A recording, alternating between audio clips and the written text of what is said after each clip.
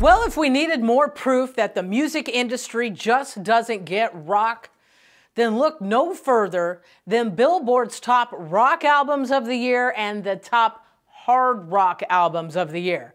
Yes, Metallica topped both, which is great, not a problem, no issues there. However, let me tell you the rest of the rock album top 10. Tom Petty and the Stones, they made the list. That's cool, I can get with that.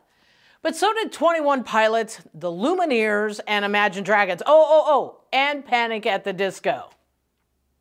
Gross. Now, the hard rock list, not as bad. I mean, it does feature the new Linkin Park record, which is far from hard rock, so that's not great. But it does have Five Finger Death Punch and Disturbed on the list, so I can get with that. But it also has Queen and Journey on the hard rock list. Yeah, these just don't get it. Oh, by the way, we'll be announcing the Kilpop Awards real soon. And friend, we get it. I'm Carlota. This is your Kilpop Minute. Like us, share us, spread us like cooties. You know I love that.